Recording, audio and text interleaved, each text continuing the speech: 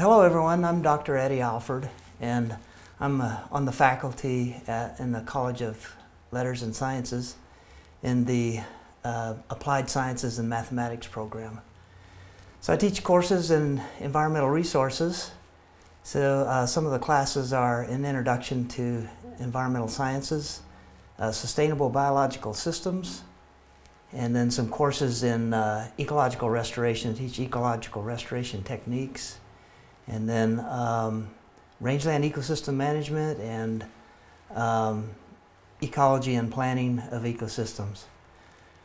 So uh, my degrees are, I have a bachelor's degree from New Mexico State University in range science and a master's from Colorado State University, range science and animal nutrition, and then a PhD from Arizona State University in um, ecosystem analysis and planning.